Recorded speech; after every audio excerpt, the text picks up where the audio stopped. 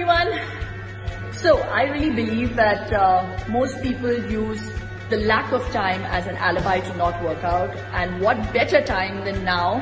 Uh, we have these forced holidays. So make use of this time uh, and this holiday to build up your immunity, to build up your strength. And this is the best antidote uh, to fight this virus. And you don't even have to go anywhere. Chuck the gym, use your stairs.